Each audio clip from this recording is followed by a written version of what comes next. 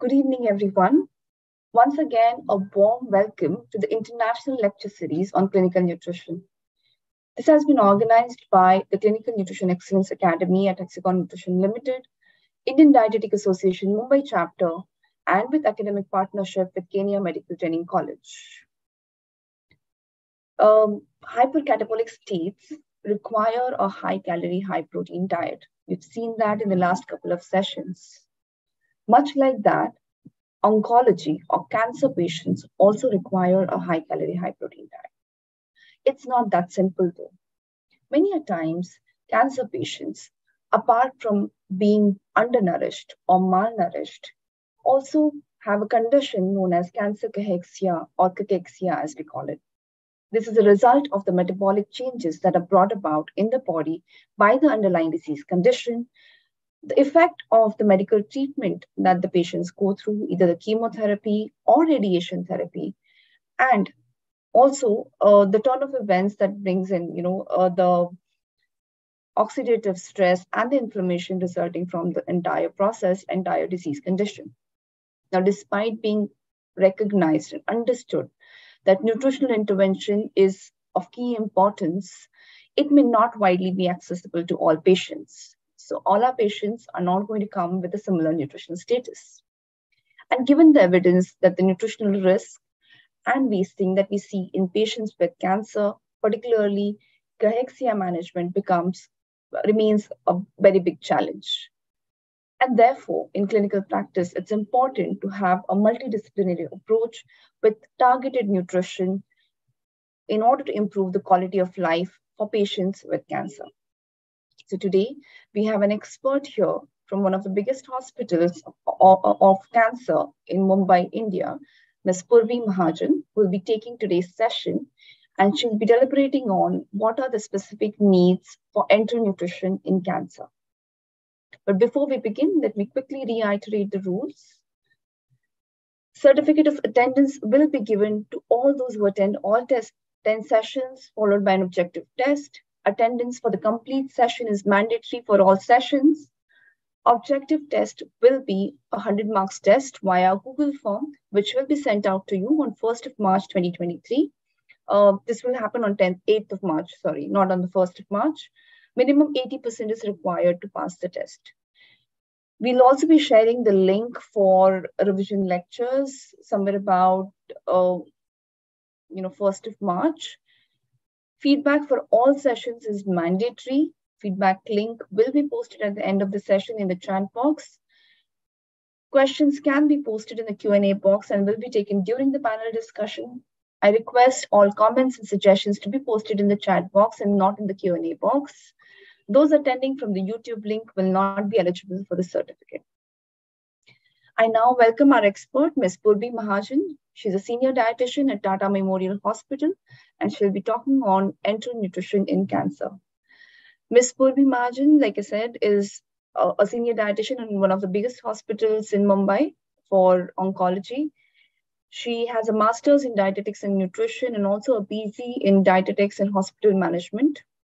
She has various awards for presenting research work at IDACON 2016, 2018, and she is also a faculty for various courses like COP PODC, Onco Nutrition Fellowship Program that is held at TMH every year.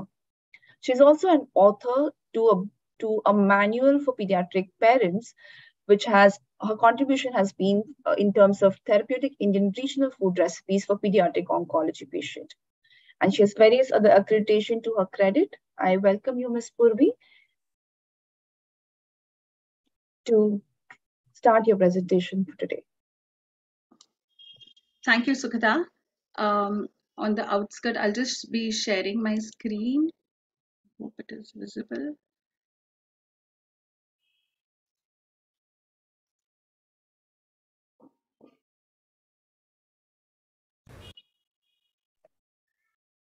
Yeah, it's visible. It's visible? Yeah. yeah thank you so much. Just slideshow. Yeah, I'm done with. Yeah, good to go. Yeah, thank you. Okay, on the outskirts, I would like to um, thank the organizers, that is the IDA, uh, Hexagon Nutrition, and the academia partners uh, for inviting me for the lecture. And with no further ado, I will uh, start uh, on the lecture, which is on enteral nutrition in uh, cancer. Okay, so um, to start with, just a brief introduction on what is cancer. As we know, cancer, it arises from the uncontrolled cell growth. Okay, and it is uh, in three phases that is it, the progress goes on on initiation pro promotion and progression right so the in initiation is the cells are exposed to the oxidative stress or uh, to the endogenous or the exogenous uh, carcinogens and either they fail to repair by themselves or they fail and die okay and thus becoming uh, precancerous cells okay in the second stage is, which is the promotional stage, these initiated cancer cells is further stimulated through the cell signaling, which allows for the cell replication and growth, leading to excess DNA damage that is beyond the capacity of the cell to repair. Okay, and so this cluster of abnormal cells, which is the tumor, may grow into large lesions and or they can translocate into the other areas of the body resulting in the metastasis of the cancer cells to other parts of the body. Okay? So this brings us to the definition of what is cancer cachexia. So it is a complex syndrome characterized by chronic progressive involuntary weight loss which is poorly or, only uh, partially responsive to the standard nutritional support and it is often associated with anorexia, early satiety and asthenia that is muscle weakness which we say. Okay, so basically the cancer cachexia usually attributes to uh, two main uh, two main components. Okay, that is uh, there is there can be a decrease in uh, the nutrient intake because this can be due to the critical involvement of the GI tract by the tumor and it can be due to the cytokines and similar to the anorexia, uh, anorexia induced uh, mediators which are there okay? And uh, secondly it may be due to the metabolic alterations to the activation of the systemic pro-inflammatory processes so the metabolic derangement, it may result in your insulin resistance. There'll be an increased lipolysis. There can be a normal or increased lipid oxidation with the loss of body fat. There'll be increased protein turnover with a loss of the muscle mass and an increase in the production of the acute phase uh, proteins. Okay, that's your CRP levels or uh, the albumin which is there. Okay, at the same time the systemic inflammatory reactions okay that develop with many cancers it is very important as they cause the loss of appetite that is anorexia and loss of weight. Thus this syndrome of the decreased appetite weight loss the metabolic alterations and the inflammatory state is therefore referred as the cancer cachexia as uh, uh, uh, just reiterated, as well as cancer anorexia uh, cachexia syndrome. Okay, so what practically I need to, uh, I want you all to um, understand is this, uh, this uh, cytokine induced metabolic alteration which appears to prevent the cachectic patients from regaining the body weight practically uh, the body mass which is there during the nutritional support and it is associated with a reduced life expectancy and are not revealed by only the exogenous nutrient alone. So this brings us, how will we identify cancer cachexia? Okay, so uh, the pre-cachectic phase, okay, it is uh, uh, uh classified as in case if there is a weight loss less than 5%, if there is anorexia and there are metabolic changes, okay, then it is said to be precachectic. If the weight loss is more than 5% or the BMI is less than uh, 20 and the weight loss is more than 2% or there is sarcopenia with a weight loss of more than 2%. Okay, this is again often accompanied by a reduced food intake by the patient or there may be a systemic inflammation. So this stage is called as the cachectic phase. Okay. And then further on, that is the refractive cachexia which sets in. There is there is a variable degree of cachexia. The cancer disease both uh, they are pro-catabolic and they do not respond to the anti-cancerous treatment the performance rate of the patient is very low and um, even the life expectancy in these cases it is less than three months. So it is up to practically it is up to 20% of the cancer death which uh, occurs due to cachexia. So this brings us to the importance of um, uh, uh, saying that is the cancer related malnutrition. It may involve evolve into cancer cachexia due to complex interaction between the pro-inflammatory cytokines and the host's metabolism. And the cancer treatment and its uh, the cancer as well as its treatment the result in severe biochemical and the physio uh, physiological alterations which are also associated which may lead to deterioration of the quality life of these patients. Hence depending upon the type of the cancer treatment, that is, whether it is curative or it is palliative. The clinical condition of these patients and nutritional status, the adequate patient tailor-made nutritional interventions that we dietitians do should be prescribed. Okay? That is through diet counseling, through your oral supplementations, uh, that's after you evaluate and then is on enteral and parenteral nutrition. So this brings us to the importance of enteral nutrition in cancer. So back again, reiterating that is malnutrition as we practice, it is very commonly observed in cancer patients and the adverse effect, it adversely affects the quality of life and the survivalship of these patients. So it is caused by various factors, that is which includes your decrease in the food intake, there is adverse effects uh, from the anti-cancer treatments, the toxicities that they see, and there is wasteful metabolic processes which eventually happen within the body system. And with this, if you go to see practicality over the past two decades, okay, there has been a major advance in the methods and the techniques in the diet therapy of the cancer patients, okay, and the other diseases also. And hence, nutritional uh, the enteral nutrition per se is developing very rapid okay? Because of these endoscopic techniques that has made it simpler to place the ng tubes the rt the enteral tubes. And uh, even uh, there are variety of these enteral uh, nutritional uh, supplements which are available which are commercially available for these patients. And hence the enteral nutrition it becomes a very effective way to deliver the nutrients when the patients um, are unavailable to ingest the food because of the neurological problem or any structural abnormalities in your upper GI tract. That is, it can be your oropharynx, your esophagus, and stomach. Okay, so to define, as in the first lecture, Benjamin Mam had said, enteral feeding refers to the intake of food via the gastrointestinal system, and the enteral feeding may mean nutritional intake uh, taken through the mouth or through a tube that goes directly to the stomach or the small intestine. And medically, we also refer enteral feeding as tube feeding.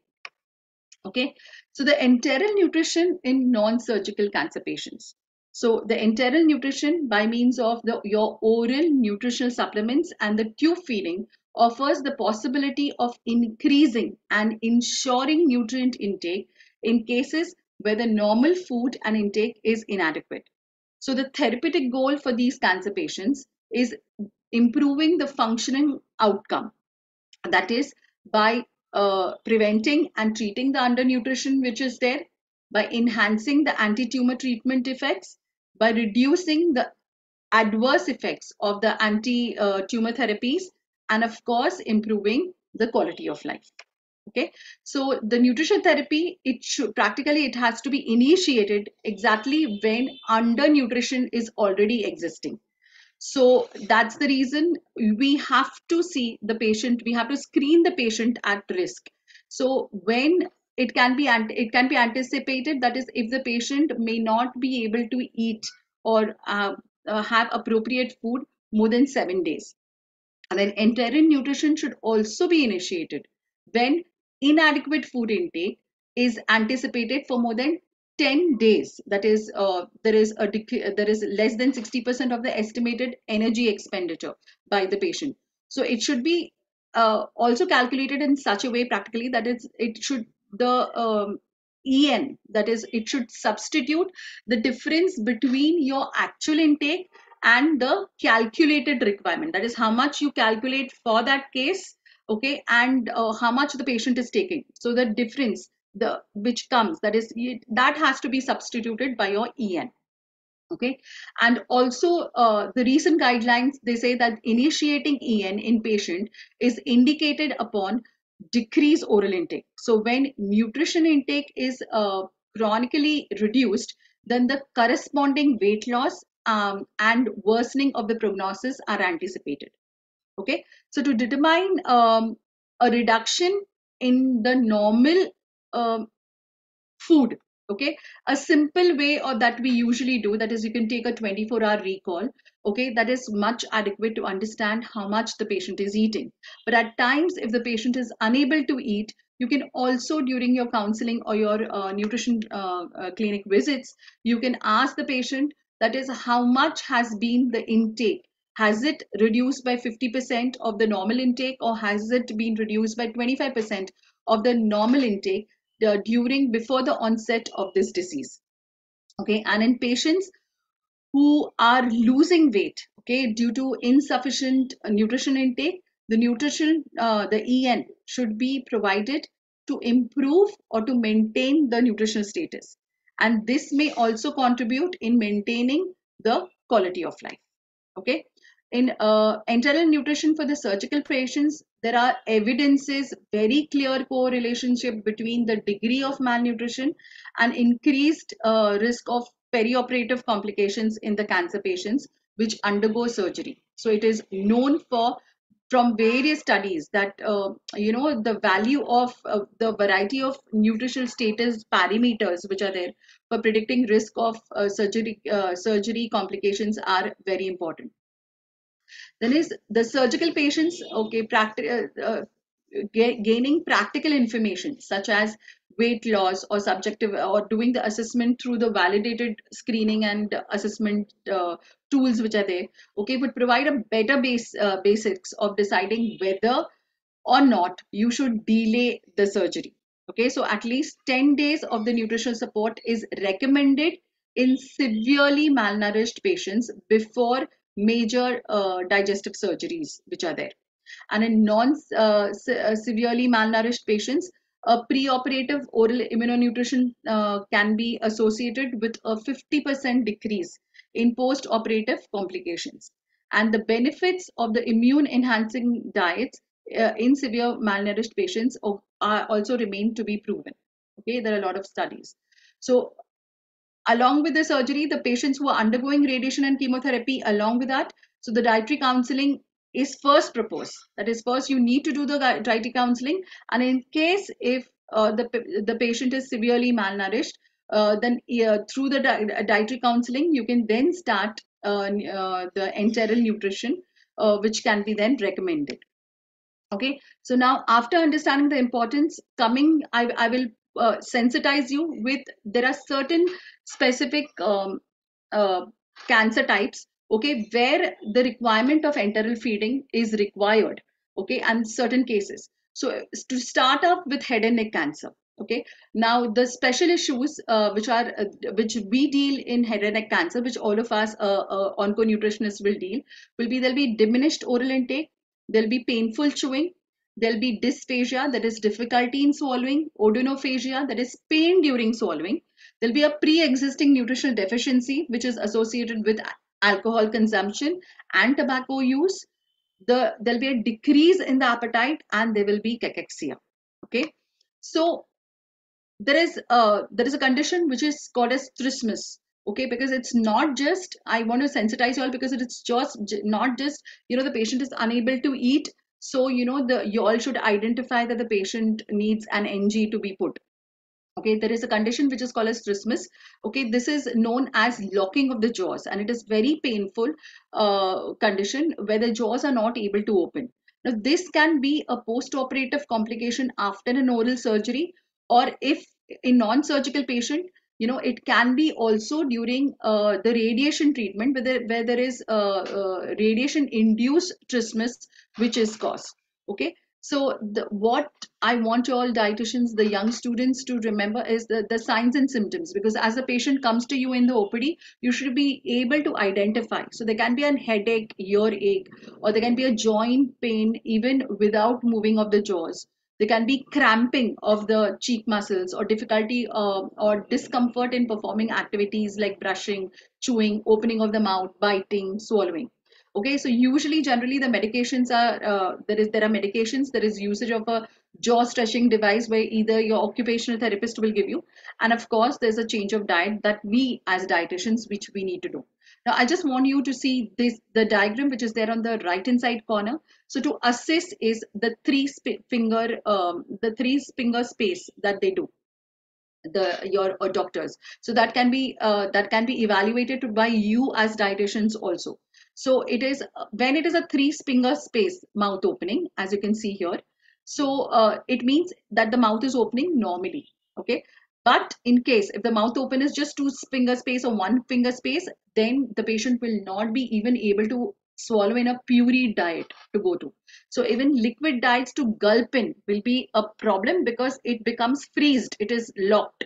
Okay. So this is the time. If it is less than one finger space, there is there is where you have to specify get back to the doctor and ask to put an ng tube that is an enteral ngt tube to this patient so there are certain conditions like this okay? In case you may try giving your liquid diet also but uh, what i need to emphasize is just by planning the diet it's not going to help you because you require certain devices. Because as there'll be no lip movement the, the patient will not be able to grasp okay not, rather not even take in that fluid which goes. So there's certain specific devices which you can try which is called as the squeeze in bottles or the straws for the fluids. We can just squeeze in and just pushes back. So the entire uh, ons uh, formula or your um, kitchen feeds can go and uh, otherwise there are special syringe okay which are made which has a curved end as you can see. So even these can be used. In case uh, you can see the uh, the availability into your setups if it if it is there. So you can advise this during the diet plan and the counseling that you're giving to the patients. And if it is uh, not available and still the patient is not able to have then we are supposed to go for an ng feed to go in. So you have to ask the doctor to insert. The specific specific uh, spoons also. If you can see the lid is very um, broad okay? It's very tall. So it goes directly uh, back to the back mouth uh, which is there okay? Then the second um, condition i would like to highlight is mucositis okay? So mucositis as we know it is inflammation of the mucosal surface. It is typically it involves the redness and ulcerative sources in the soft tissues or, or, or the uh, mucus and uh, the oral mucositis, it will manifest by erythema, inflammation, ulceration, and ultimately, he, uh, ultimately hemorrhage, bleeding in the mouth and the throat. So to assess this, to evaluate this, we have the WHO oral toxicity scale, which is there. So in case if there is soreness in the patient when he's uh, coming to you uh, for the dietary advice and when you're uh, when you are uh, asking the symptoms in case either there is soreness or there is erythema there is the redness in in the mucosa then it is counted as grade 1 here the patient can tolerate the normal food okay? Uh, then is in case if there is erythema as well as certain ulceration seen if you can see into the picture then the patient can swallow solid food but cannot uh, uh, tolerate spicy food okay then if the ulcerations will extend, the redness will uh, also extend and the patient is not able to swallow food. So here the puree diet is taken or they say we can have only liquids. Then it is called as grade 3 and grade 4 is where the mucositis has extended okay the patient is not able to even swallow his own sputum okay spit so that is the time even the liquid diet will not go so as and when, what I want to reiterate is as and when the patient is coming to you for follow-ups or when you're checking on this patient, keep on evaluating the patient on this in case if he says there is a slight ulcer or redness in his mouth. Because we don't want our patients to go to the uh, level grade 3, okay? Because this can happen when the patient is put on chemo drugs, okay? Uh, chemo drugs which can um, uh, aggravate these conditions. There are certain conditions like cisplatin at times the patient gets admitted and within 24 hours the patient reaches to grade 3. So once you understand the protocol, uh, once you understand the protocol of this, you know, you again you can ask for a, a prophylactic. That is, you can ask the, the doctors to initially put the RT feed that is the RT tube to these patients before starting the treatment so the nutritional status of this patient can be maintained okay? So the nutrition challenges becomes is in is in these patients will be maintaining the nutritional goals. So the weight maintenance during and after the treatment becomes a challenge. Weight maintenance post treatment until the patient is able uh, to consume the solid food again has to be taken care and it is a challenge for the dietitian. Completing the treatment also becomes a challenge and the weight maintenance during the transitional uh, feeding from enteral uh, uh, nutritional support is also very much important. And here the importance of prophylactic placement of the enteral tube comes in. So you as the dietitian should be ahead and ask your doctor in case if he's not done that before the treatment. That is because you will be protecting or safeguarding the malnutrition later on which will happen okay so then it's better to put in place an ng and let the patient have the oral feeds which are there so in case if this aggravates mucositis as the cycles of radiation when the mid treatment cycle comes in you are there your patient is able to have the entire uh, uh, diet plan that you've done through the enteral feed which is there okay so the weight stays maintained then the next condition is dysphagia. Dysphagia means difficulty in swallowing and uh, this can be expressed by the patients in various ways. That is having pain while swallowing, being unable to swallow, having sensation of food getting stuck into your throat or he may say it is got stuck into your chest or it is behind behind the sternum bone uh, which is there there can be drooling okay then there can be hoarseness in the voice or there can be regurgitation that is bringing up food back okay it comes back into your mouth. Then there can be frequent heartburns. Then is having food or stomach acid back into your throat. Unexpected weight loss there can be gagging. Okay that is gagging is just the opposite of swallowing. Uh, there can be coughing. As the patient drinks something he'll start coughing. Okay and it, he brings everything out. And having uh, to cut food into smaller pieces for avoiding certain food because again there'll be trouble in swallowing. So for these patients also there is a scale okay to evaluate and then you can understand because just because a definition when the patient comes to you and says that I'm not able to swallow and I can take soft diet okay the texture of the soft diet is also very important and, and it is very vague because you know uh, there are around eight stages in actual clinical evaluations where you go for this soft diet to come in. So the treatment for this will be the muscle exercises uh, which will be given by the swallowing therapist. They can be change in the head and neck position. Back again, the chin tuck position that is to hold as you swallow uh, given by the swallowing therapist. So in case in your hospitals, if you have a swallowing therapist, it will be as advisable that whenever the patient comes to you for a nutritional consult, you may first advise the patient to go to the swallowing therapist or take and consult if it is practically possible for the patient even to get an outside consult because there is a there is a staging of the consistency that the swallowing therapist will give you. On that basis you as a dietitian will be in a better position to plan the texture and consistency of the diet of the patient so the nutritional status is maintained and the patient can adequately gulp in the food. Okay? Then is so soft to thickened drinks will be modified. Then there can be a surgery done and of course depending upon the evaluation either the patient might require enteral feeding before the surgery or after the surgery okay so there are certain um, uh, certain uh, frameworks which they have come together. This is the IDSI protocol, which is the internet just to sensitize y'all. So y'all know where exactly how to evaluate.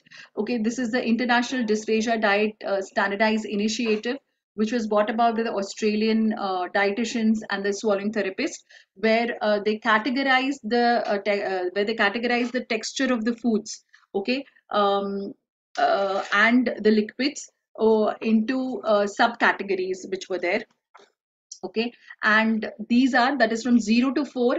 They have categorized them from thin, slightly thin, slightly thick, mildly thick, moderately thick, and extremely thick. Whereas the solids are again staged from uh, grade 3 to 7. Okay. So, uh, and on the right hand side that I've showed you all, these are our Indian based standardizations, which we do, okay, are based upon the consistency. But I must say that every state, every country, every state, they all have, everybody has their traditional way of eating okay? So this is according to the australian standards. There are again the canadian standards where they have come with their own protocol. So i think so it is high time that every country should you know emphasize and bring their own protocols to help these dysphagic patients you know to uh, have a better lifestyle and eat uh, and uh, you know maintain their nutritional status.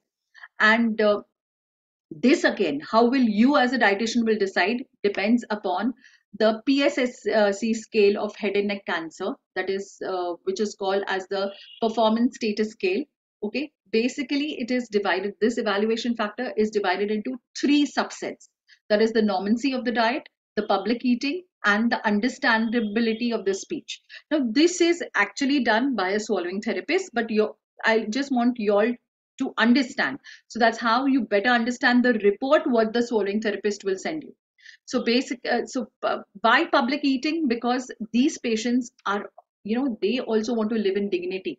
So it's not that during the treatment, after that, in case if there is a prolonged dysphagia which is there, the patients also need to socialize. So there they become very much conscious. So there is a rating scale which they have given for the public eating and then is understandability of the speeches for the speech and swallowing therapist for us the dietitian this is important the normancy of the diet.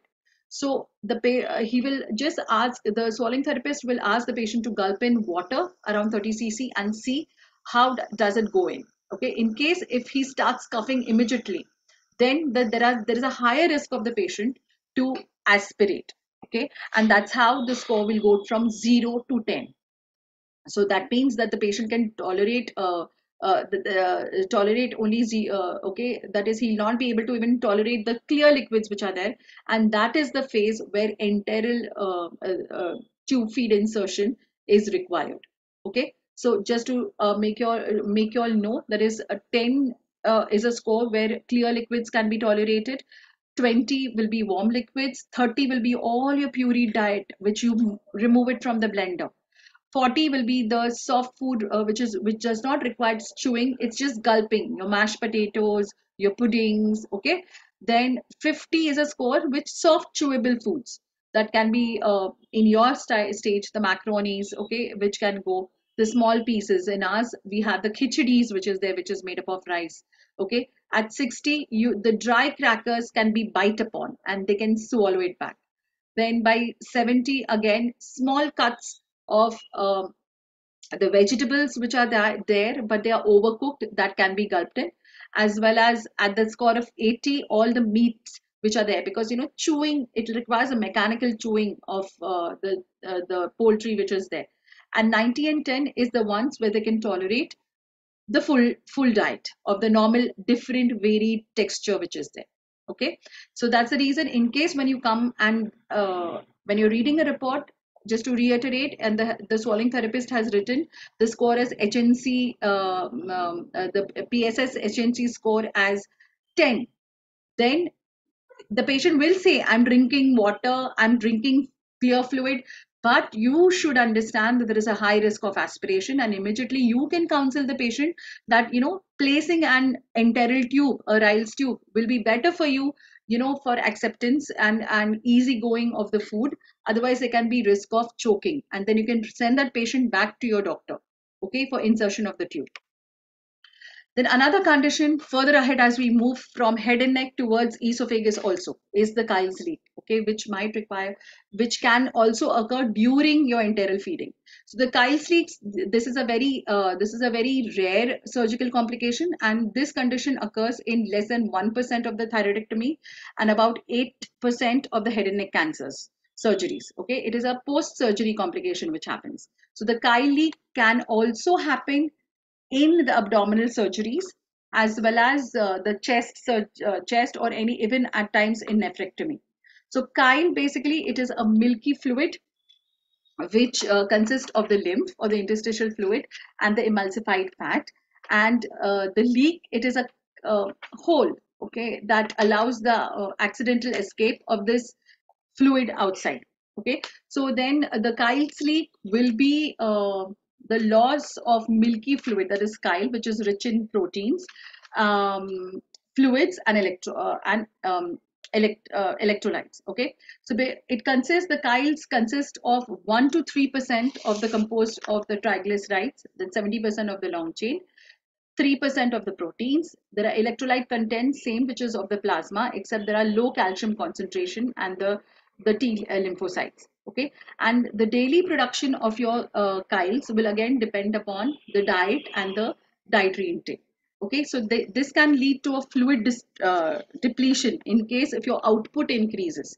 Okay? And uh, malnutrition with a high output if it is not um, rectified or resolved. Okay? So the clinical characteristics will be again it is uh, intraoperative or postoperative. The drain of the milky white the drains will be measured the patient will be nil by mouth or the patient will be referred to the dietitian for a fat free rather a fat restricted diet. That's a better word. And uh, may uh, uh, be present with a leak or a clear fluid which is there. So we as dietitians as we plan also every day in a follow-up we should also monitor the drains and also see the appearance of the drain. From milky it should go to transparent okay or it can become serous bloody. So then we know that the the chylomicrons are decreasing okay? There is the volume of the drainage. Again we need to monitor. That is less than 500 ml per day is a lesser volume which is called as a low output fistula volume.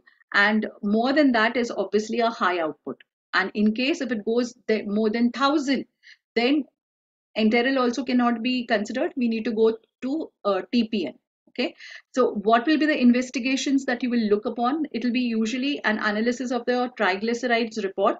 So the chyle contains 2 to 8 times of the amount of the triglyceride as compared to your normal tg levels. So your your value of the normal tg levels it will be greater than 110 mg per dl okay? So that can be in case if it is sent by the chyle is tested and it is sent by your doctor. So that's how you will mark it okay? And the so the treatment will be a conservative treatment because it, you have to see that the drain has to come uh, less than 500 ml uh, of the chyles per day. So for that you can keep the head, head elevated. Okay? So the uh, due to the gravity uh, the drain is not that much. Uh, even in case if the wound is there then is closed wound drainage should be used and suction drainage. There is suction containers which are there which through the gravity will start pulling up. So it gets collected. Pressure dressings are used and then you have to replace the fluid which is lost through the fistula which can reach up to 4 liters per day okay? And for the, y'all we we dietitians have to plan a fat restricted diet which is less than 10 to 20 grams of uh, fat per day. And therefore we can use the mct based fat which is there okay? And um, uh, that is or, or uh, these are also there in your elemental formulas. So the mct oil does not uh, uh, prevent the, uh, this um, the essential fatty acid deficiency. So we have to see that we do not exceed more than 12 to 18 MCT uh, teaspoons of MCT oil per day.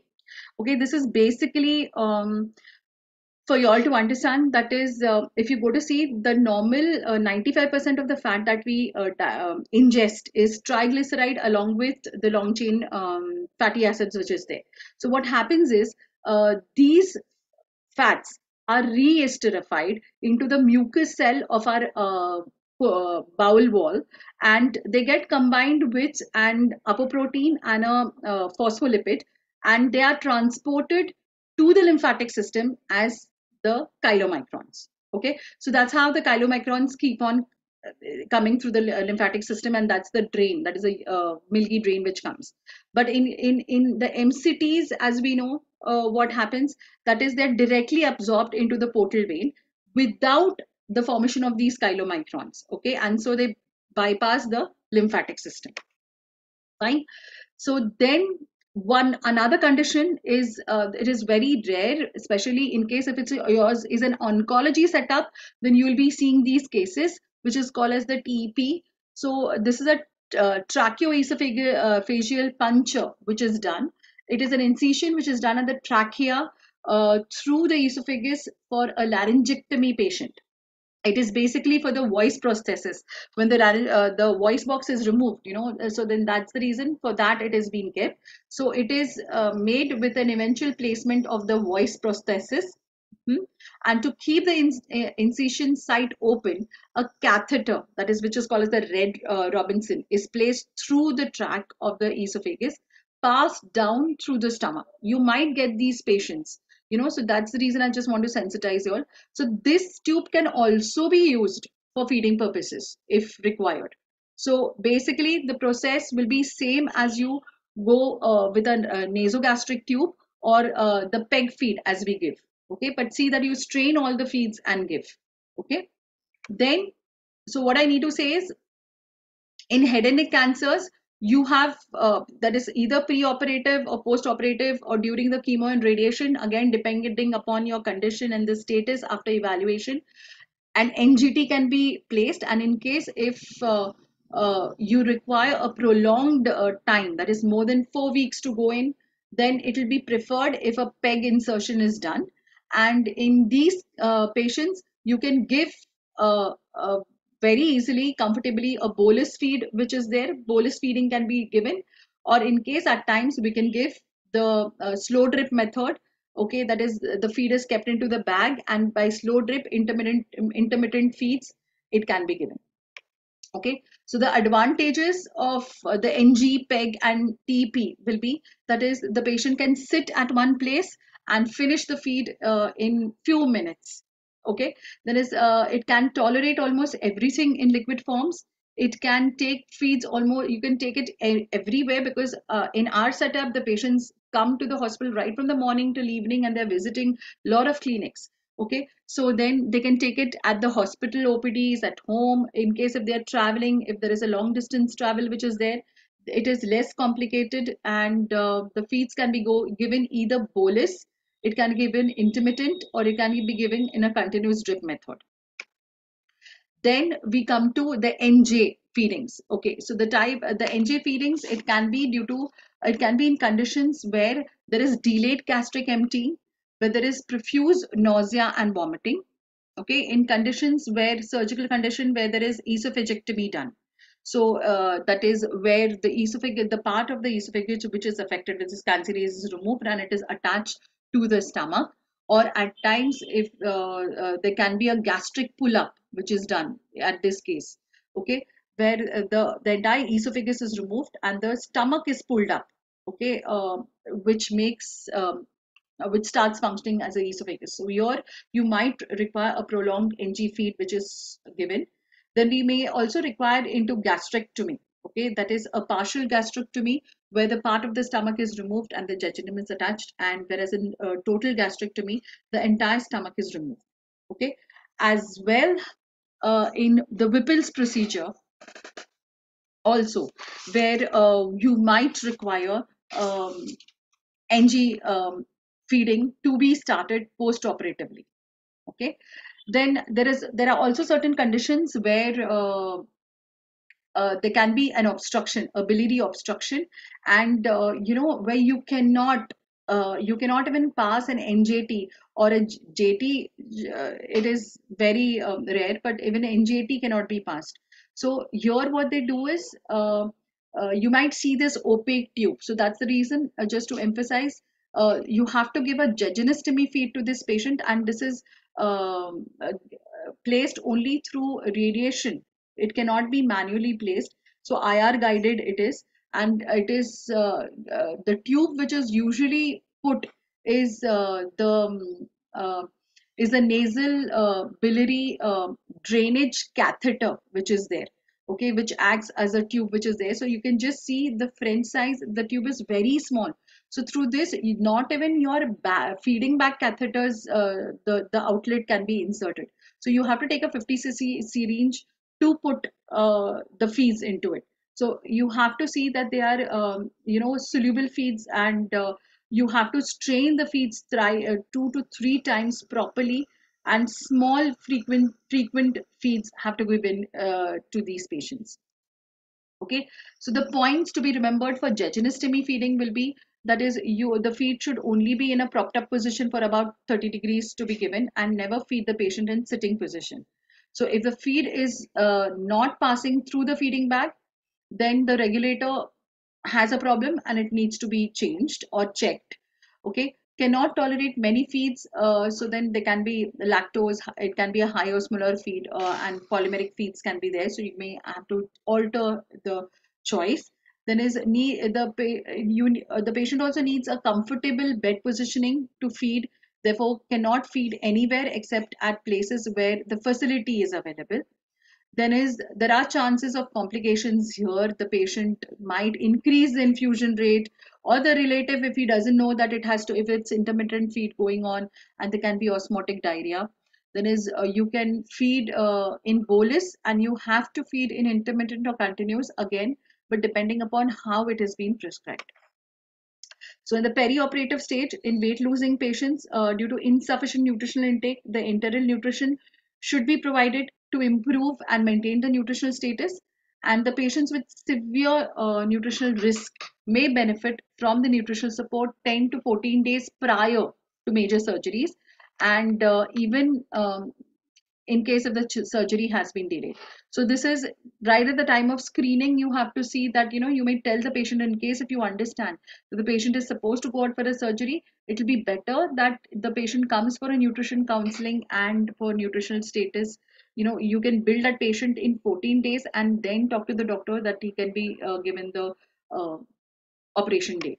Okay so then uh, there are few nutritional issues in surgical patients. That is in case if there is an abnormal transit just to understand I've just made it into a table. So in, there'll be a dumping syndrome. So early dumping syndrome can be uh, within an hour's time. So there can be diarrhea or the patient may say he's feeling bloated okay through an NJT tube in case in cases like uh, esophagus cases or uh, the CA stomach cases. So there, there can be nausea there can be tachycardia and uh, immediately after 30 minutes after a meal. And in late there can be hypoglycemic symptoms. He'll start perspiring or the patient might feel dizzy.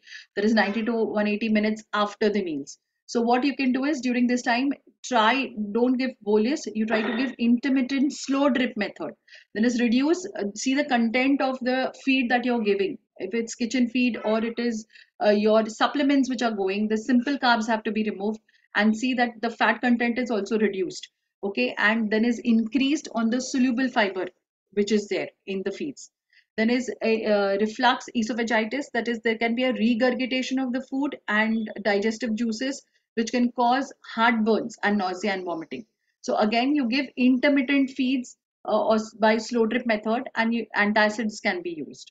If there is delayed gastric emptying or gastric stasis then early satiety will happen. There can be postprandial fullness, heartburns, dysphagia, and there can be risk of aspiration also.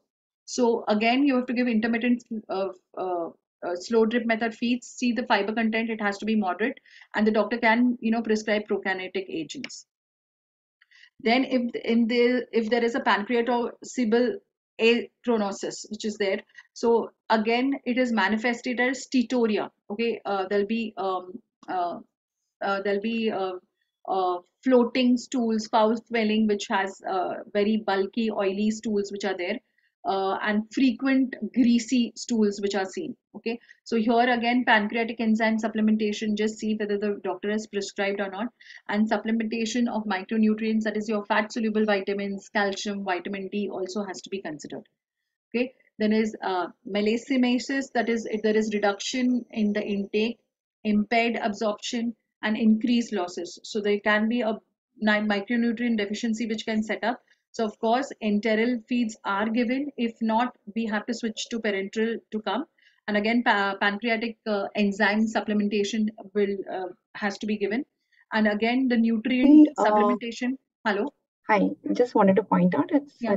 at the 40 minute mark okay okay okay fine fine and depending upon the nutrient malabsorption okay then there is uh, obstructions. Uh, that is again in case if there is gastric outlet obstruction uh, there will be vomiting and um, uh, there will be constipation. Back again either enteral or parenteral has to be considered. Okay and uh, there is promotility agents can be given. And in pancreatic insufficiency uh, insufficiency there'll be steatorrhea or bloating. And again pancreatic enzymes or replacement should be given. So the contraindications for enteral tube feeding in the oncology setup will be bowel obstruction. The patient has uh, if the patient is hemodynamically unstable if there is uh, intractable diarrhea continuous that is due to this is due to the uh, chemotoxicities which is there there can be severe bleeding there can be ischemia or there is perforation of the gut okay? Then is if there is high output fistula or the ostomy uh, output is also high more than um, uh, 500 ml to go in.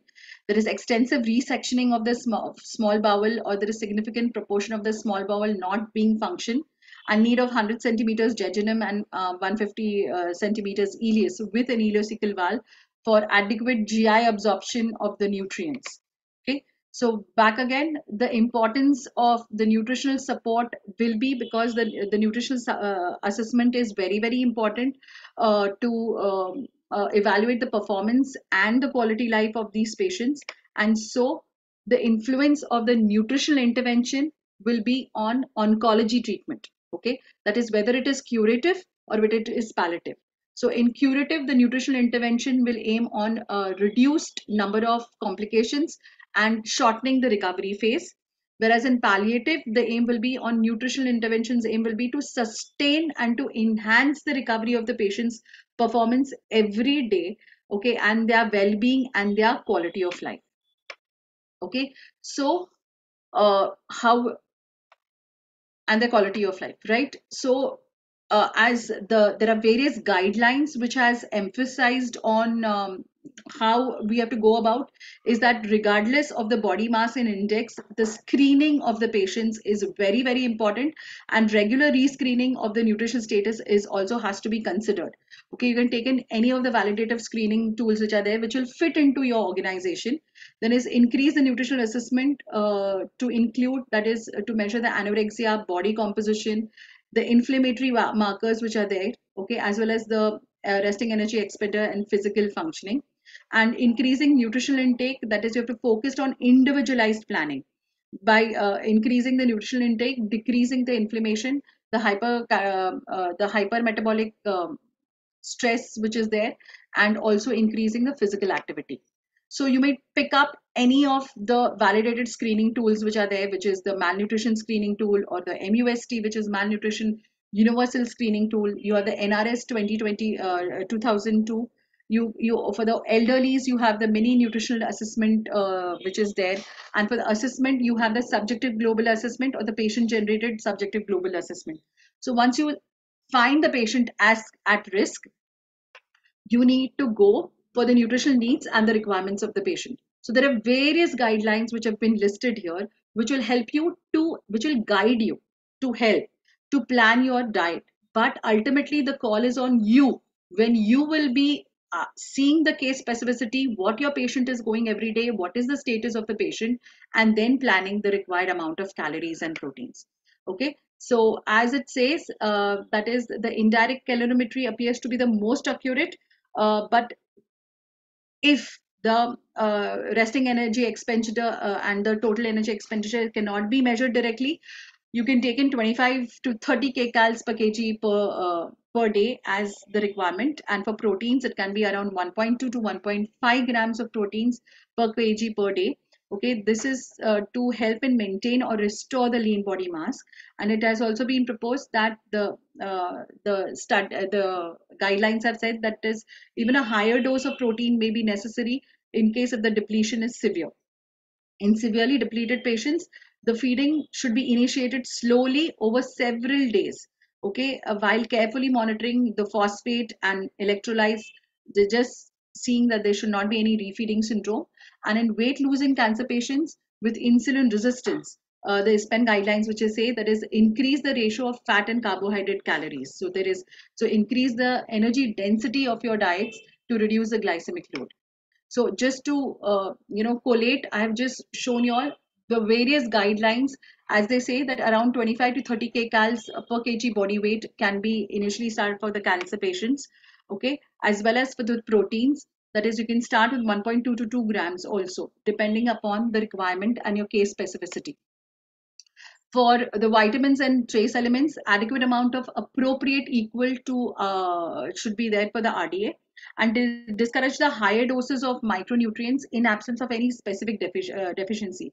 At times do, we don't even say that because they, it can be you know it can lead a drug uh, nutrient interaction so it can be a mega dose in case uh, the patient is going through a chemotherapy which is there. So it's better to give them through the natural sources okay? And yes the immunonutrients that is your omega-3 uh, omega-3 uh, your glutamine and arginine are also important because they improve in your lean body mass they reduce the infection complications they help in wound healing they prevent uh, the uh, uh, the treatment which is related to diarrhea and mucositis they restore organ function and improve the overall clinical outcomes.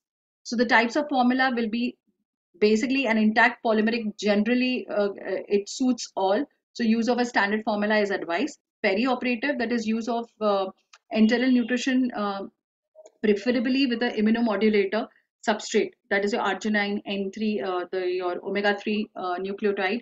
It is advisable that you may start 5 to 7 days. Even 14 days is much more better depending upon your practical setup okay which will uh, in case in the patients who are undergoing abdominal your gi tract surgeries okay? And during uh, during the stem cell transplant enteral administration of glutamine or um, the epa uh, it'll it is not recommended uh, due to inconclusive data right?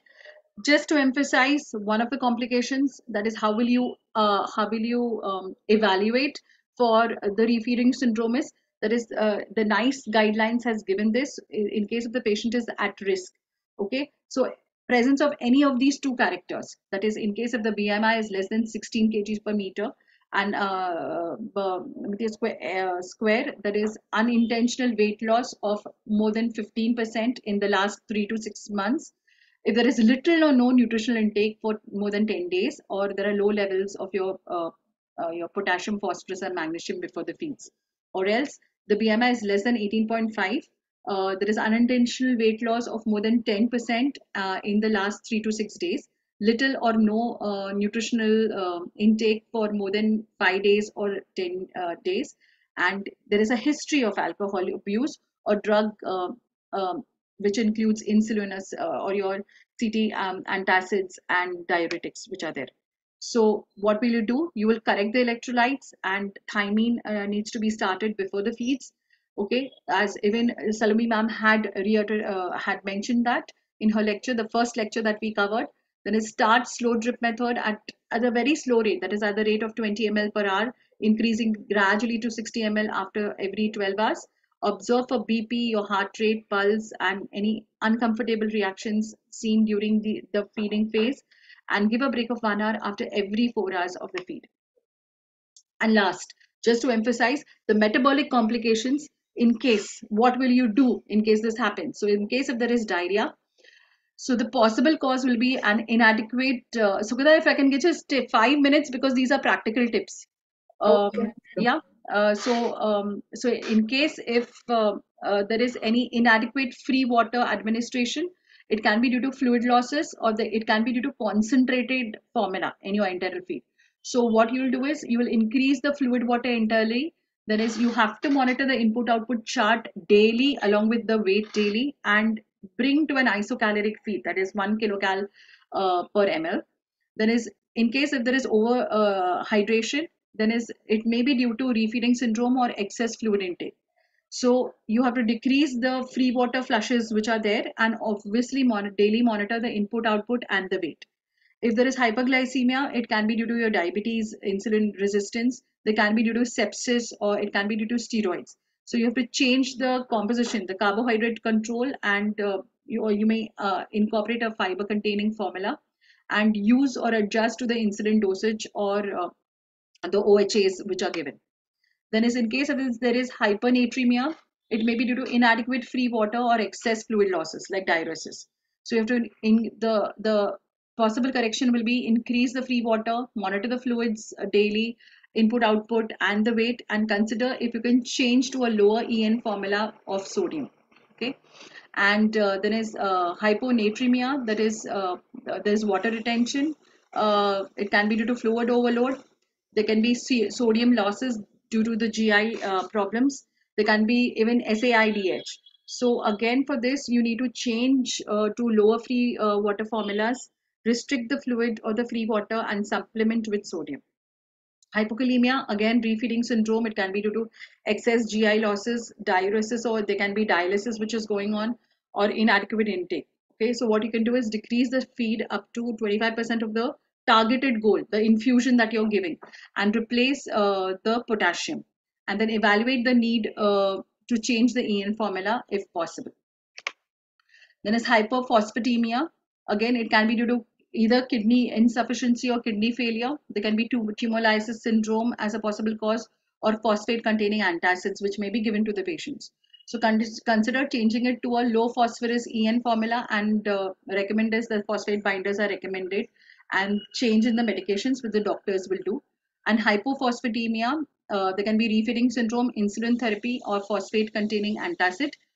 The decrease again here you're feeding by 25% and there is a correction and you have to replace uh, phosphate uh, not potassium and uh, change the medication if possible right? Whereas in the gi uh, complications in case if there is a high gastric as, uh, residue please do not stop your feeds it may be due to delayed gastric emptying and large volume so obviously switch on to post pyloric feeding. Prokinetic can be advised okay? And considering changing of the concentration of the feeds with a lower infusion rate. In case if there is aspiration or reflux then is again uh, you must be giving the the position of the bed is very much important. So what you can do is uh, elevate the head of the bed at 30 to uh, 30 to 40 degrees celsius use a small bore tube which we just uh, which i showed you the uh, blue one which is there then is uh, there can be continuous feeding from bolus to be shifted there and then is consider adding of prokinetic. In case if there is nausea, vomiting uh, or there is abdominal distension or bloating, then again, uh, you know, continuous feeding method should be considered with low fat or isotonic formulas. Then is again uh, put in prokinetic uh, agents which are there. Consider changing the post pyloric feeding. Use antiemetic and initiate the feed at a very low rate and then gradually advance diarrhea of course first rule out what is the cause okay so it can be due to um, the usage of sorbitol in case if it's there because it's hyperosmolar due to any laxatives or lactulose then is evaluate the use of antibiotics okay? Uh, then is also you can see the stool culture because there can be infection. Then is there can be bacterial contamination. So please see how the feed is made what is the hang time because for powdered, powdered formulas it is only four hours. Then as you may change even see if, if it is an nj feed if the bags per feed are washed or changed or not okay? And then you can go into the closed system formulas to come in then is change the fiber content of the en feed and uh, you can in case if there is malabsorption then you can change to elemental or elemental formula in case of the steatorrhea then um, you may change to MCT based formula which is there and last constipation uh, in case uh, the main cause will be adequate fluid intake. So you have to increase the free water and the fluid intake. Then is uh, you can consider change in the uh, fiber of the content of the EN formula, increase the act physical activity in case of pop, mobilize the patient. Okay, then is minimize a narcotic because narcotics also leads to constipation. The drugs. So even at times the depress uh, the patient who are uh, on antidepressant they also lead to constipation then is stool softeners and laxative and evaluate the cause as per that might be need uh, need to hold because in case if there is GI obstruction then we have to hold the enteral uh, the NG uh, enteral feeding which is there. So just to summarize the points to be remembered that will be uh, uh, for while feeding will be feed the feeding should be at room temperature sterile equipments and utensils uh, should be used while preparing keep the patient in the propped up position that is 45 degrees for NGT and 30 degrees for NJT. Keep check, checking the infusion rates. They should not change. Okay, uh, then is if the feeding is not uh, passing through the patient, then is the patient needs to change the positioning. Then is flush the tube with clean water before and after the feeds. You may consult uh, the pharmacist for the medical ad administration. That is how it has to go through the tube. Start the first feed on time. So for a better compliance of the patient, then his personal hygiene of the patient is very, very important as well as of the nurse, well, whoever is giving the feed. Maintain oral hygiene. Okay, keep patients uh, motivated because they keep on having the same feeds. You know, so you know they might then the compliance might come down. Uh, keep the patient mo uh, mobile in between the feeds. Check on any infections which are there. In case of there, if there is any bleeding, then immediately tell your doctor. And the nurses should also be trained what are the type and sizes of the tubes which are there. So to summarize, uh, that is to practice safe enteral feeding, uh, feeding uh, as the Aspen standard says, be alert.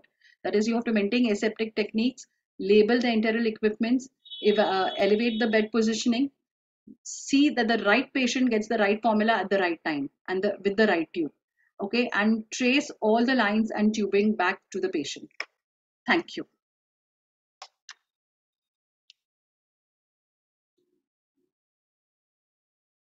Thank you so much for such a comprehensive coverage of the topic and especially for the tips that you covered in the end that were really very useful. So I'm going to straight off jump to the panel discussion. Uh, I would like to invite all the panelists as well to join us in the discussion. We've already met our speaker today, Ms. Purvi Mahajan.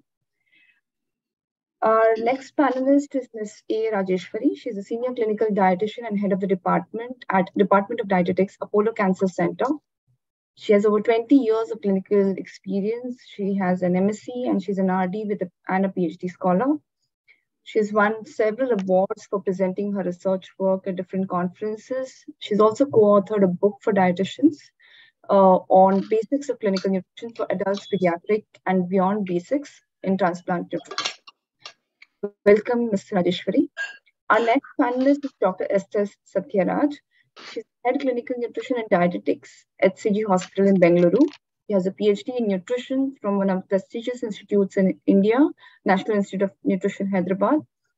Over 15 years of clinical experience, and she has had past experience of working with several different hospitals in oncology has published over 10 papers in national and international journals and also has experience in NABH quality improvement projects and Six Sigma projects in healthcare.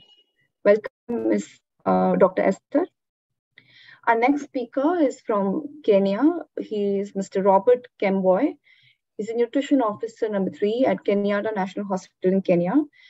He has a bachelor's degree of technology in human nutrition from Technical University of Kenya and has worked as a tutor, tutor at Nairobi Aviation College, also has a nutrition attachment at Moi Teaching and Referral Hospital, and he's been at Kenyatta National Hospital from 2019 to date. He's worked in oncology wards and has worked on 23 different types of cancer as well. Welcome, Mr. Robert. Um, our, we had one more panelist on board, uh, Dr. Agnes, but she could not join us today due to an emergency. May I request other panelists to on your cameras? So I'll, I think, begin with Dr. Esther. Yes. Okay. Thank you.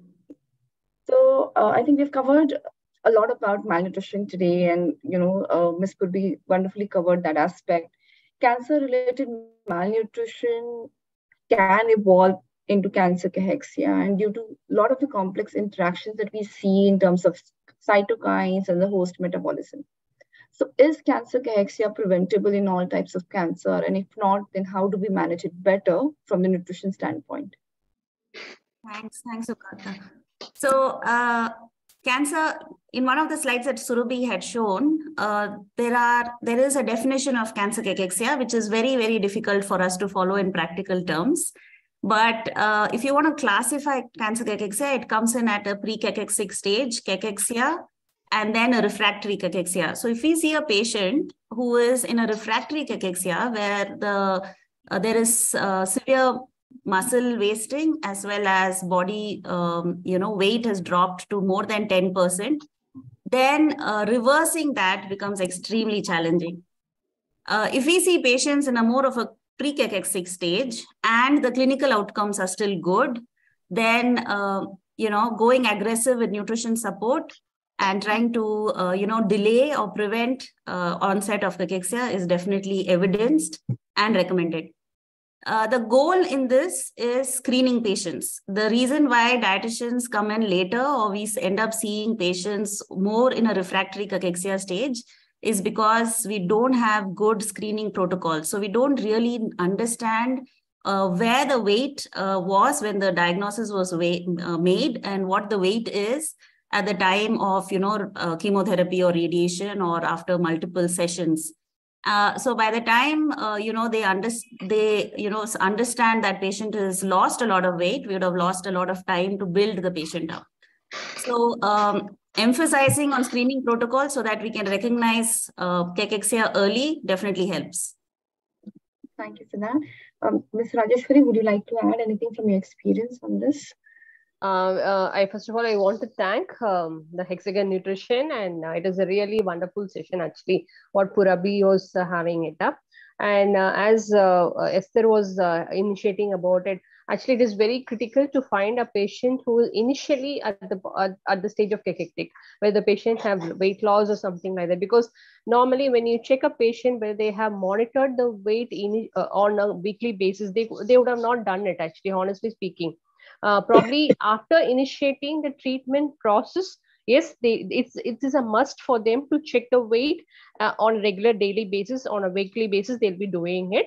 Otherwise they would have not monitored is there any weight deviation they have noticed earlier or is there any deviation on their uh, food intake or anything like that. When we recall their food intake probably they'll be could able to recollect and tell yes there was a minimal uh, you know food intake has been reduced and they have noticed certain weight loss.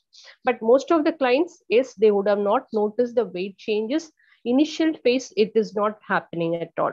But when if it is after the in case of uh, treatment procedure eh, uh, as really Esther said, we can able to you know uh, revert back the weight changes. We can with the help of oral nutrition support yes we can do the patients uh, you know uh, from the cachectic we can bring back to the normal stage. It is a reversible process. We can it able can to be treated yeah, yeah. yeah can be treated.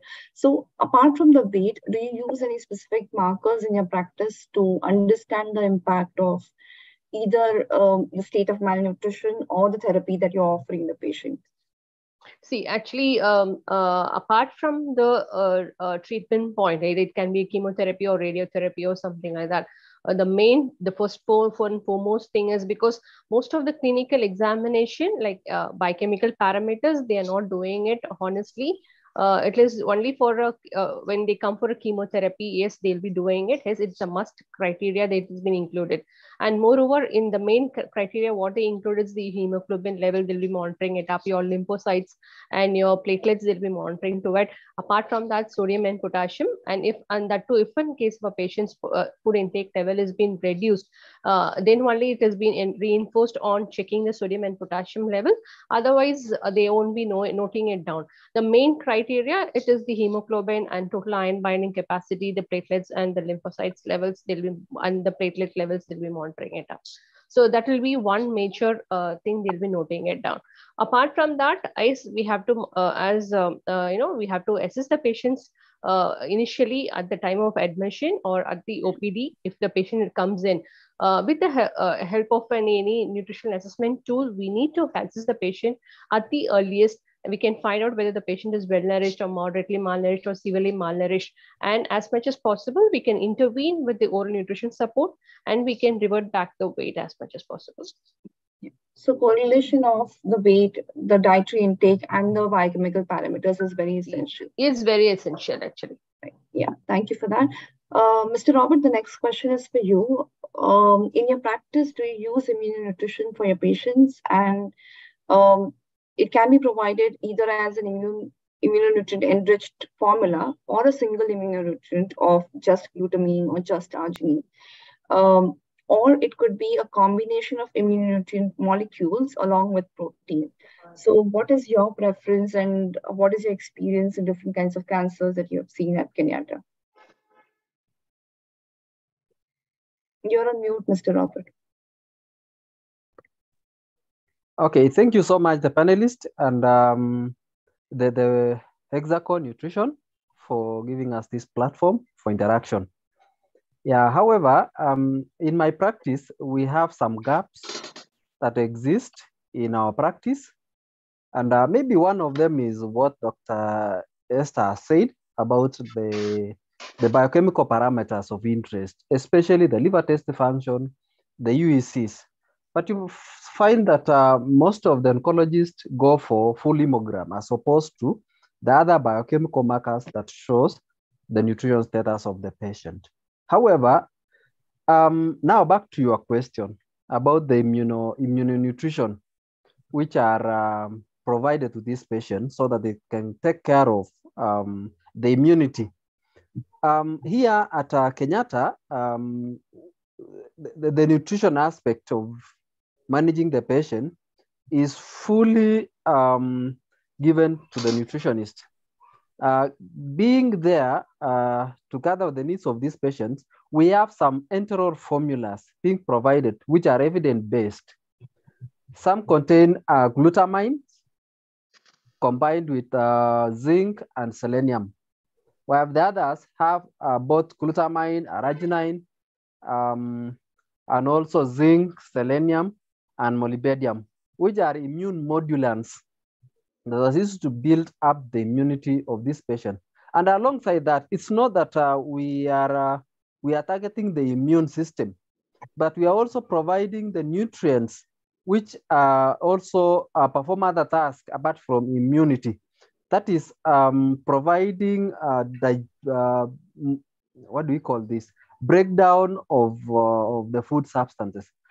For example, the glutamines, which are which assist in gluconeogenesis. That's actually a breakdown uh, formation of of uh, glucagon from the substrate, hence making this uh, individual to have that muscles. We have also arginine. Uh, arginine, which also plays an important role uh, in maintaining the normal function of the cardiovascular, how our systems works. Remember, uh, the first panelist talked about the cytokines. At the same time, we in cancer patients, we have um, we have tumor necrotic factor. These tumor necrotic factor are responsible for uh, binding the iron, which are in food, hence making it not available for the body. And therefore, most of these oncology patients, some um, get to a stage of anemia, anemic, which uh, most physicians recommend transfusion. Um, we have also um, gluta, um, polyunsaturated fatty acids, that's omega acids. We are using a Seven Seas here. And also we, we are providing food, especially uh, fish that uh, will cater for uh, polyunsaturated fatty acids. Uh, this actually helps to reduce now the breakdown of muscles, which uh, at the end, far end, the patient will get to a stage of cachexia. And now we want to control and consolidate that the muscles of these patients is maintained so that we cannot uh, encroach um, close to cachexia.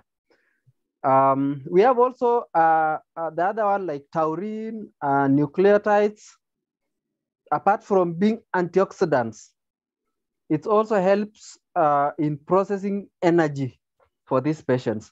And especially these patients are always, they have, um, um, I, I, think one of the cause of um, loss of appetite is also psychological.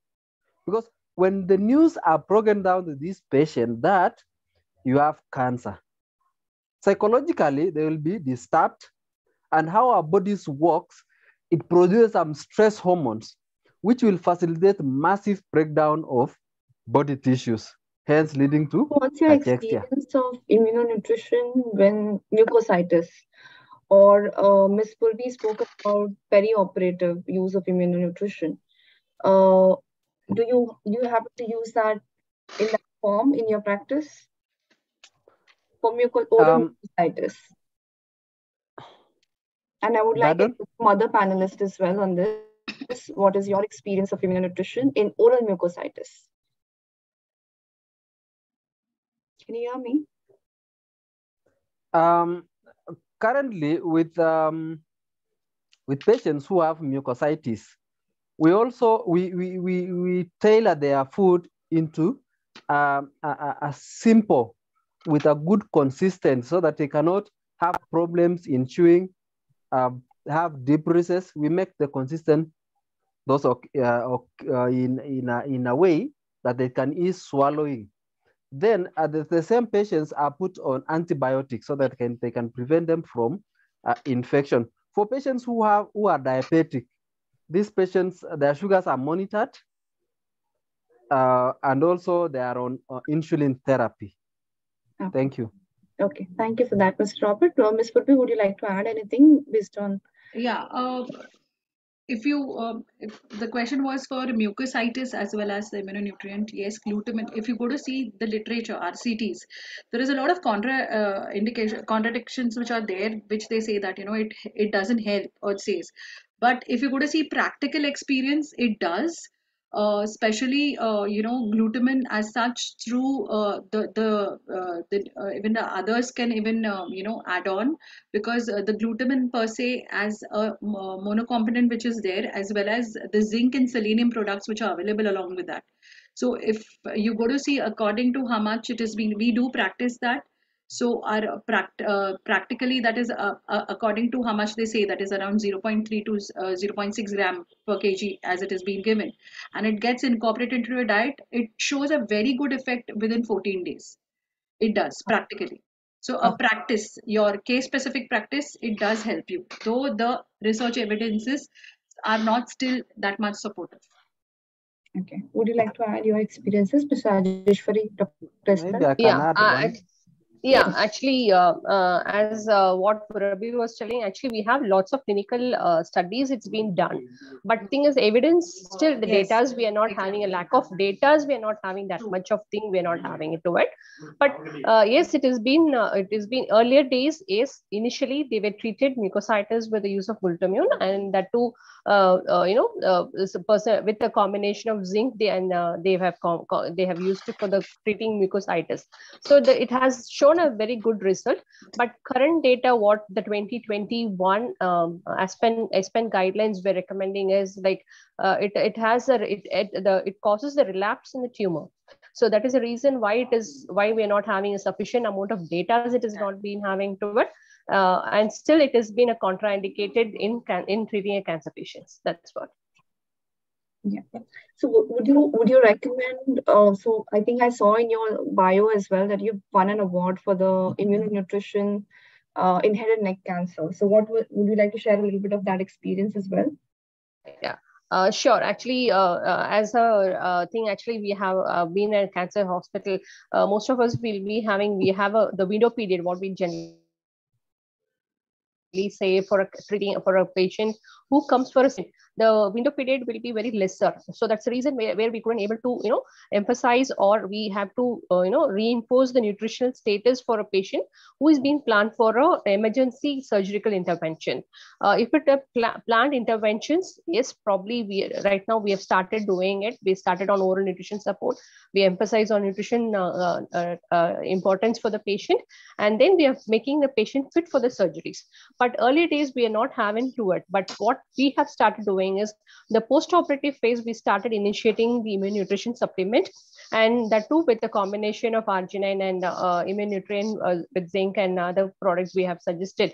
The first five to seven days of immune supplementation had shown a great impact on the outcome, the clinical outcome. It has reduced the uh, no, length of hospital stay and the ICU stay. And moreover, the complication rate has also been reduced. Hardly one or two patients had minimal complications, not a greater uh, level we never have noticed to it. And moreover, the hospital readmission rate also we have monitored uh, for a month of three months and six months, we have noticed they had come for further treatment purpose, but not as such a complication. We have not noticed it. So in our practice, yes, immune nutrition supplementation, uh, post-operative, yes, it has been shown a clinical impact on it. Uh, pre-operative, yes, we have. If we have an window period, yes, it it will be having a very good result, which will be shown to us. That's what. Yeah. yeah. Thank you. Dr. Esther, there's some evidence building up apart from immunonutrition about use of ERAS protocol in patients going for cancer surgery as well, right? So what is your experience with this and what are some of the challenges that we face with following the ERAS protocol? Uh, because that came up in the last couple of sessions when we were discussing as well. Uh, on paper, ERAS protocol looks very good and you know promising, but it's not really always possible for us to do it in practice. Yeah, good point. Uh, so ERAS protocol evidence, a lot of evidence to support it, um, has to is emphasized in uh, not just cancer surgeries but all types of surgeries, has been documented to improve outcomes. Um, it is challenging but not impossible um, a few things that uh, that Rajeshwari said is, you know, if we have a protocol for post-operative care, uh, if we, you know, set up a similar protocol for a pre-operative care, then it kind of helps. So uh, my experience, if I am supposed to, if I can add, we didn't uh, start off with all the cancer surgeries, but we started off with head and neck uh, cancer surgeries, where we, because head and neck and GI are the most vulnerable for malnutrition. So head and neck cancer surgeries, we had this uh, protocol set that as soon as the surgery is planned, the patient at the OPD level itself is referred to the nutritionist for screening. Now, our screening goes into body composition analysis with a simple screening tool and intervention is done. Uh, we don't have many days. One of the challenges is ERAS protocol says 10 days, 14 days. Practically, it doesn't work that way. We, but there are also studies that say that even if you can intervene for three to seven days, the, the outcomes are still good. Uh, the benefit here is we can at least understand whether the patient, when they're coming in itself, are malnourished or nutritionally at risk or well nourished. Now, considering HCG is a more of a corporate center, our segment of patients, when they come in, uh, they are not severely malnourished. Okay, so even a three days of pre-op intervention, uh, I can do. Uh, and if I have a patient who is severely malnourished, that is coming in with, you know, a very low BMI, a, a significant weight loss, then the surgeon does give me time but that proportion is less in my in my uh, center it will be different uh, for purabi i mean for uh, you know for other uh, centers uh, but my center, the proportion of patients who come in severely malnourished at the time of uh, surgery is not too much. So for me, I have a gap of three to five days before the surgery comes in. And three to five days, we screen them, put them on a immunonutrition pre-op plan. Surgery is done. Early enteral nutrition, I think that is established across India uh, by many of the surgeons. So early enteral nutrition, so within the first 72 hours, the feeds start. Uh, and discharge happens within the seven uh, within five to seven days post-op. First follow-up happens at the opd level. And post-operative follow-up is is uh, designed by us similar to what rajeshwari had spoken. So we schedule the post-operative follow-up. Most of the head and neck patients come back for radiation therapy. So we have a gap of three to four weeks after surgery to build them up. And that three to four weeks we don't miss. So we you know we are very very uh, particular that they follow up with us now we did this for head and neck, saw good results. papers in publication now. Uh, but challenge is to do it across all cancers, like an orthopedic surgery, you know, an or, or, or a, sarcoma that is going in, or uh, a, a, you know a, a tumor where you know we are uh, like a neuro or a or a glioblastoma scheduled for an RT. We don't see them uh, in a pre-RT stage or a pre-surgical uh, stage. Uh, so there are challenges, but um, there is a lot of evidence. So we need to get started somewhere and keep doing it. Yeah. I don't think we can, you know, just say that we we can't. I think we should take efforts, like how Rajeshwari said. We take efforts to, you know, establish protocols and keep doing what has to be done. and whatever whenever results come in we support we add on to the evidence and keep uh, you know adding on to it. we need to keep trying at the end of the day Uh, right uh, Shukda, I want to add Yes. on, on to it. Uh, when we're just talking about the ERAS protocol, uh, recently we had our ICNC con- uh, conference.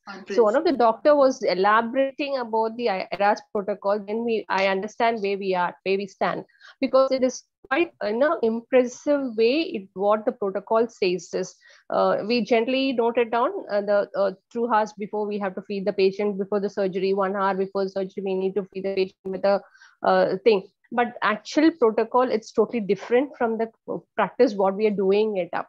So i think there is one uh, you know eras uh, uh, you know society itself it's been functioning. Where they are teaching and then how to go ahead with the protocol how to take forward the protocol the eras protocol in a hospital setup itself it's they are doing it up. So probably we can go ahead with the step by step because a person who is wanted to implement an eras protocol in the hospital probably they can do such they can go br- browse for it the society. They i think they are they are training the dietitians as well as the doctors and then treating nurses also they were tra- treating them. So probably i think we can go ahead we can pitch in and just see about it actually. Yeah and because the protocol has not just nutrition as one of the components Yeah. they yeah. need to be a multidisciplinary approach. I mean everything everybody needs to be on board not just the dietitians. Yeah. For the protocol Yeah. to be successful that's right true true Mr. Robert, do you have any experience with the RAS protocol there in Kenya? Yeah, thank you so much. Operate.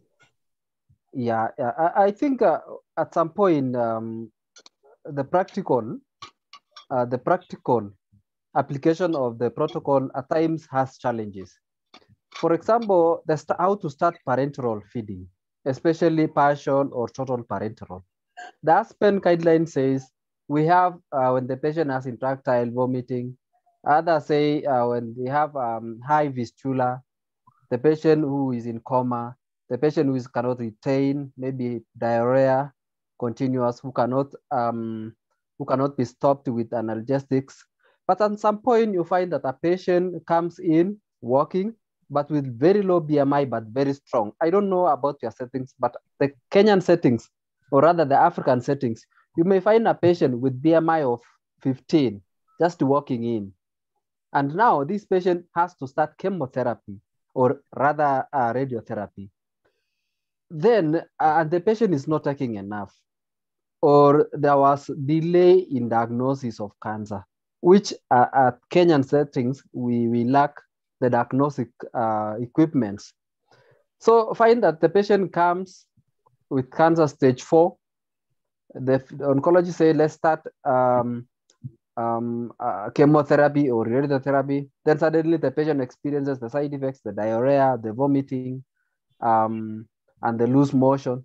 At the same time, the owners of this patient, which is the oncologist says now that we cannot start parenteral feeding because there is associated with infection.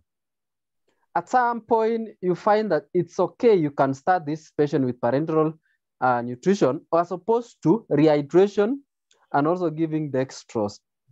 Most of them give dextrose 10% or dextrose 20% with ringers lactate and normal salines, which is purely there is no, no caloric value in terms of proteins, carbohydrates, and fats. And therefore, I think we need to in, in collaborate as a multidisciplinary team where we, uh, we invite the oncologist or the doctor so that they can be the messengers of the information that nutrition is key. The patient requires energy for other metabolic activities to take place in the body. And at the same time, the patient requires energy to sustain the effects of medication. And also a patient who is emaciated cannot tolerate the high doses of chemotherapy or radiotherapy.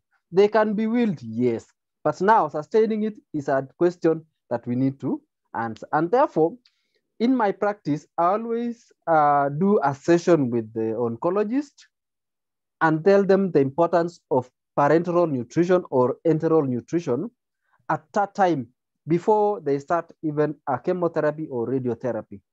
And therefore, the outcome of early initiation of this enteral and parenteral uh, feeding is the, the, the outcome is very, very okay.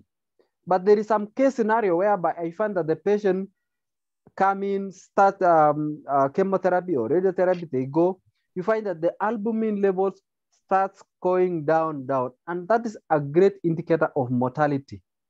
When the patient start exhausting the albumin, the store of energy, that means now that the patient cannot, the metabolic activities that takes place in the body will not be sustained. So often Thank these you. patients will come to you with um, you know side effects of chemo or adverse effects of chemo and radiation therapy, nausea, vomiting, or it could be a diarrhea, and this would limit their dietary intake as well. So, what are some of the dietary adjuncts that you use um, to help ameliorate the effects, adverse effects of the medical management? Okay, for, for a patient who has diarrhea, we need to establish whether it's aseptic or not aseptic. Because uh, when the patient has diarrhea and it's aseptic, it means now that there is bacteria within the GIT. And therefore, when you stop it, you, you, you, you are making the situation worse. So we need to assess first.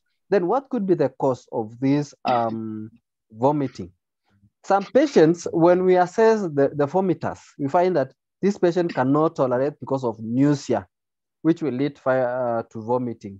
And therefore, we, we always incorporate uh, use medication like ondansetron or Plasil so that they can stop. But some patients don't um, cannot withstand that. Even if you give high doses of Plasil, still there is vomiting.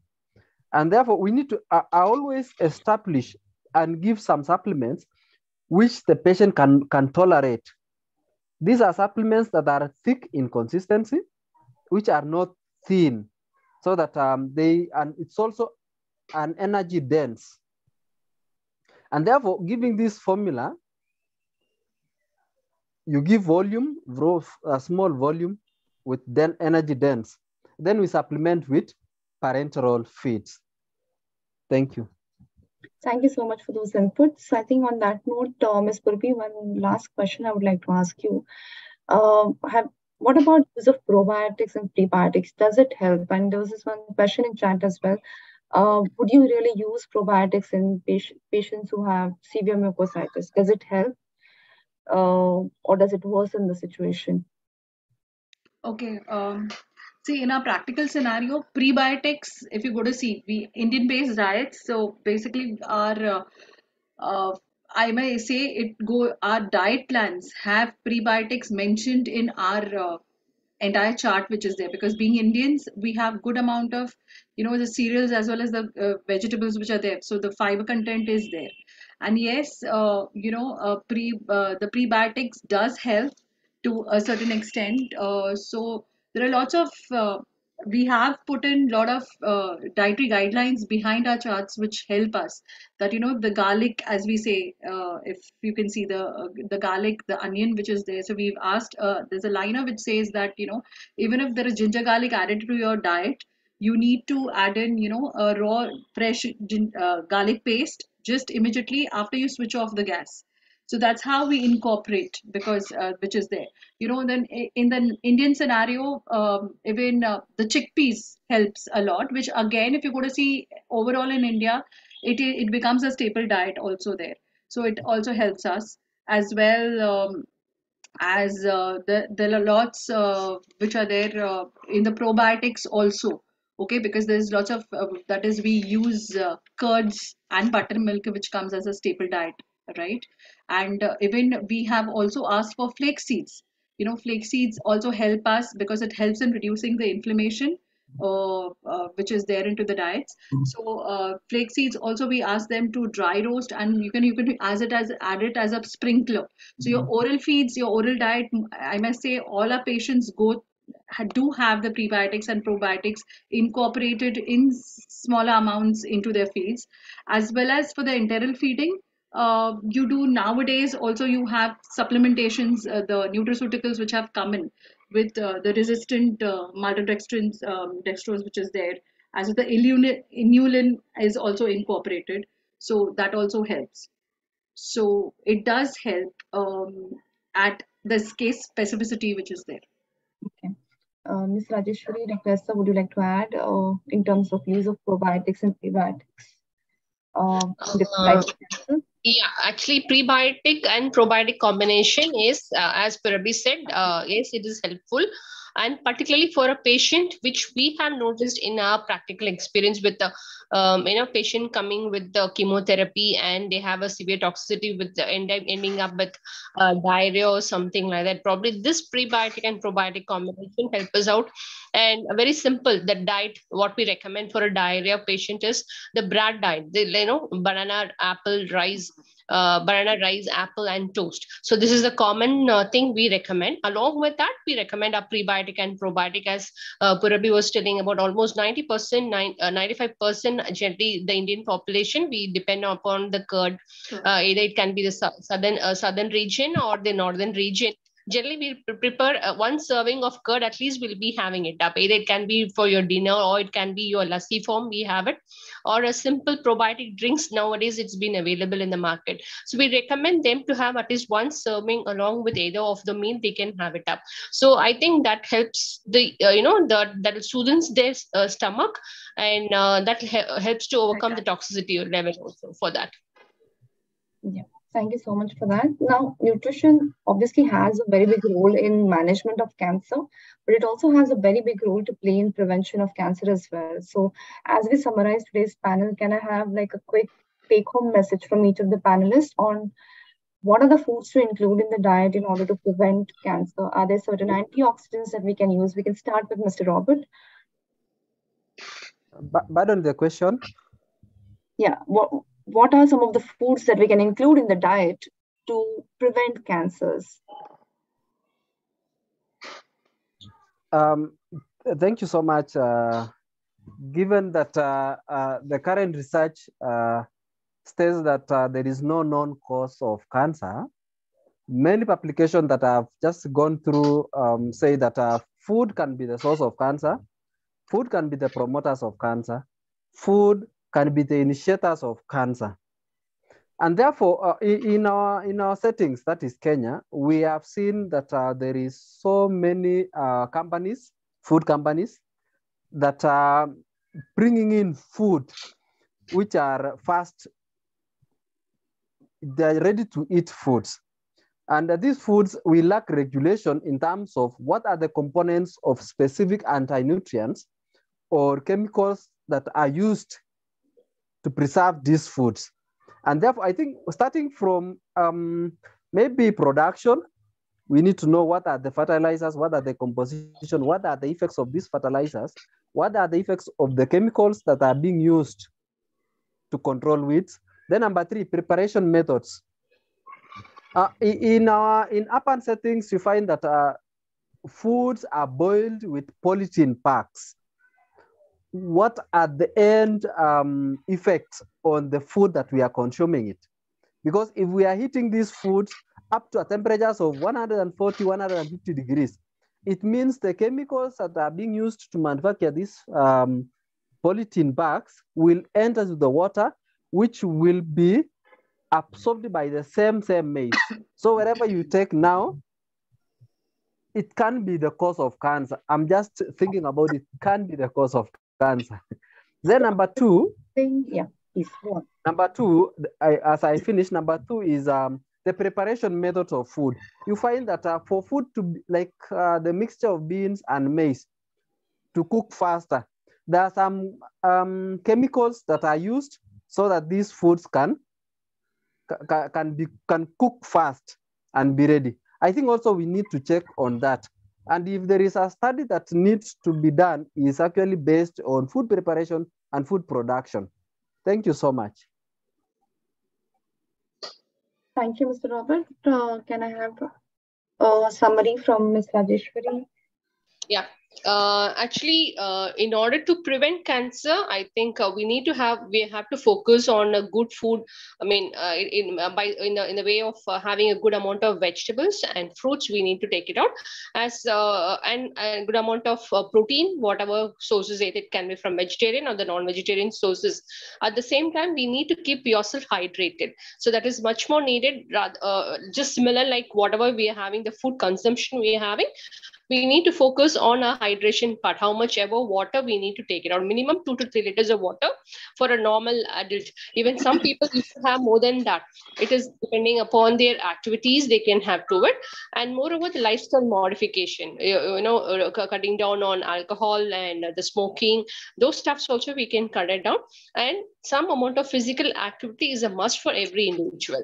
It can be a simple walking, we can do it at least half an hour to 45 minutes in a day, almost for four to five days in a week, we can do it. And uh, moreover, uh, we need to have a good amount of sleep. So that is also essential for any individual to prevent a cancer, cancer, cancer.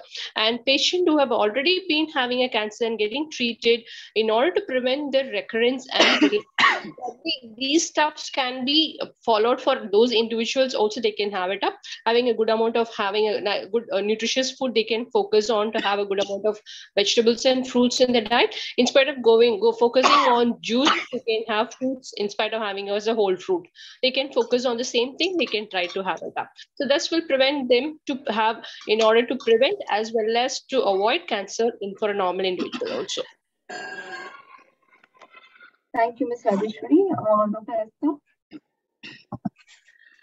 Just to add on to the extensive list, I think evidence has said in terms of uh, recurrence or, you know, uh, in terms of nutrition, it is more of lifestyle changes. Um, obesity is linked to onset of a lot of breast and gynec cancers, maintaining a healthy body weight with ample amount of physical activity is not just important as a preventive aspect of cancer, but also that is probably one of the only evidenced, um, uh, you know, to say to prevent a recurrence of especially gynecological cancers, uh, cancers of ovaries, uh, cervix, uh, head and neck. Of course, as Rajeshwari said, it is to do more with uh, smoking and alcohol abstinence. So just those two points from my end. Thank you.